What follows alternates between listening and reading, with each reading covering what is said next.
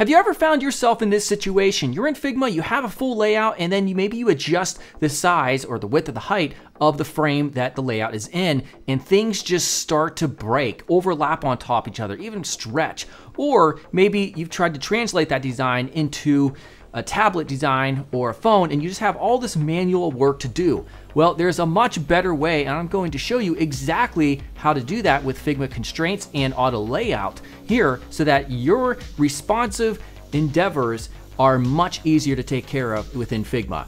Now, you can follow along with this same exact design that you just saw. There's a link here in the YouTube description. So let's go ahead and get started. Now, wait one moment. If you're interested in this sort of thing in UI and UX design, you should definitely check out designcourse.com.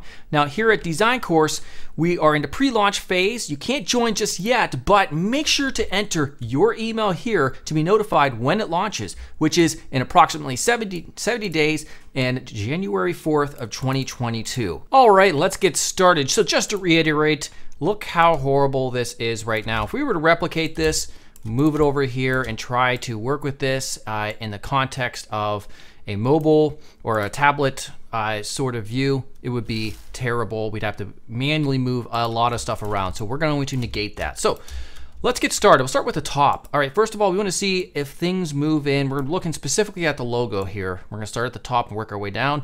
It does stick with where it needs to be. So by default, it is and under constraints, it's it's top and left right here. It's exactly what we want.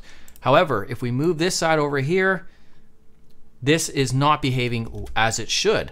So what we want to do in this case is we simply want to put right. So top and right. So the reverse of this. So top right, top left, because we want them to stay inside uh, the areas where they need to. Now, typically you might be using a 12 column grid system on desktop at least. Let's view that and make sure this is in line with exactly where it needs to be. So I can double click, we'll move that right there to the edge and that's exactly where we want to be. If we move this around, there we go. Now, of course, if we get sm smaller than uh, right around here, we're going to want to collapse into a, uh, a hamburger menu for that icon, which we'll get to in a second.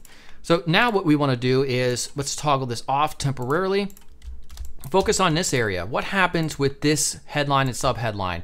Well, it moves all over the place. We don't want that, certainly. So just temporarily, I'm going to ungroup this. And for both of these, what we want to do is we can create an auto layout, which will automatically stack them, which means now one of the, one of the things it means is we can move these up and, and make them interchangeable. But that's really not the benefit here. The benefit is now that we can come and we can change hug contents to fixed under constraints and resizing, and then also change it to left and right. Now, it's still going to have a funky behavior. So what we want to do is double click into those child elements and then select both of them and we can change this to fill container and there we go. Now it's going to work. Watch. Notice how it maintains the white space between them. Nothing's overlapping with exception to this area, which we will fix here in a second. Now, one thing I don't like is that line height over here on this. It's way too high. Let's just put auto.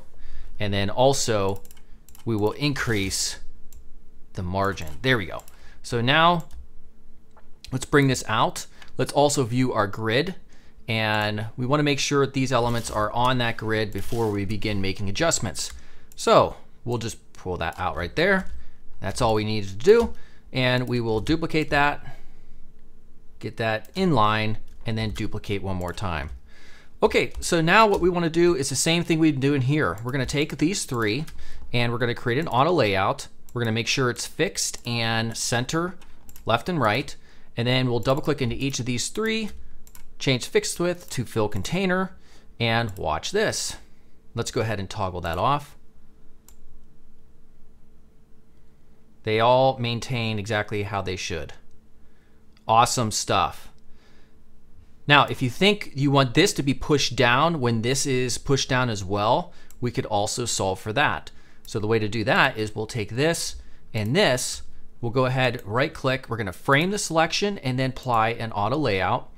And then we're gonna do the same thing before, fixed and left and right, double click, select both, choose fill container, and let's see here and see what happens. Notice how it pushes it down It might be a little bit too much white space there, so all we have to do is grab this and reduce this amount right around there. And we're almost done with the desktop. So the desktop, see that? That is squishing. We do not want that. So let's get our uh, grid back up here. Well, actually, we don't need the grid for this at all.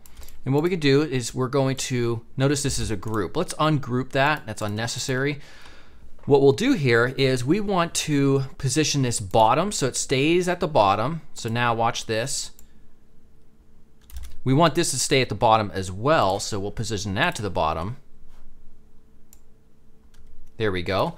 And then we want to make sure this is centered and that is already centered. So now when we move it in, it's going to maintain the size and not stretch anymore.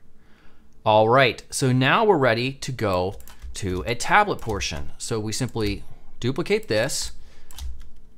We'll go ahead and turn this on. We can adjust this to typical tablet eight count for columns, maybe 60 for the margin. Then all we have to do is just move this over where it needs to be, this over here, and obviously we're going to be dealing with a smaller size like around here. And then take this, hold Alt, drag out. All right, and then let's say we want to have a different alternate uh, card sort of layout where we have one at the top spanning all the way and then two at the bottom.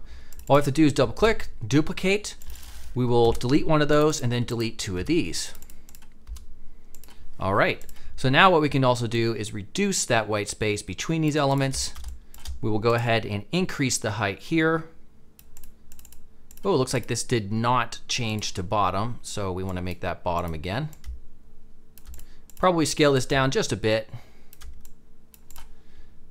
Hide the grid. And there we go. Now look how fast that was. Let's change this because I'm a little bit anal about this to tablet. And look how fast this was compared to what we would have done if none of this stuff was set up properly. Now, of course, right here, uh, we don't want that menu. Instead, I'm going to grab real quick off a screen a hamburger menu. And again, we'll want to get our grid there. And we'll place it in the center exactly where it needs to be. Perfect. Make sure this is correct. It is top right. Hide that, and there we go. Perfect. So let's do this one more time for phone. So duplicate it. Get ourselves in a phone sort of viewport right around here. And let's say we want these cards to stack on top of each other, three rows instead of three columns like on desktop. So let's pull this down. We're gonna need some more space double click, delete that group. We're going to change this auto layout to a vertical direction and we'll duplicate. Now what we can do beforehand, if we think we don't need quite as much white space, we can drag that up, duplicate, duplicate, and look at that. If you think this type up here is a little bit too large, we can always scale that down, maybe reduce that, and let's move things back up scale this down. All right, we could scale this down as well. Oops, or rather this element, I'm trying to grab it.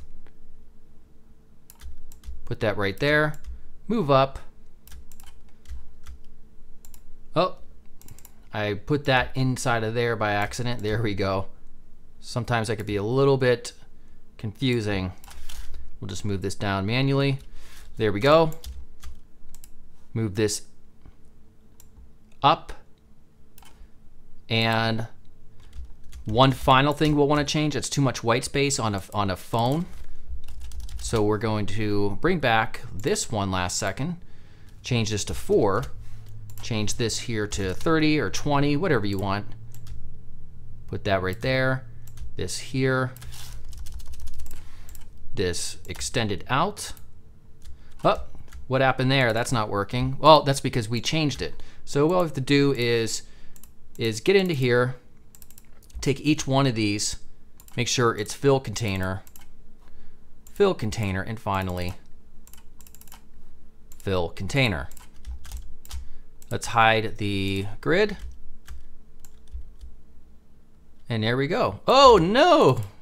Looks like that has to be adjusted too. Sometimes these things unfortunately happen. So remember, we'll change this to bottom and center.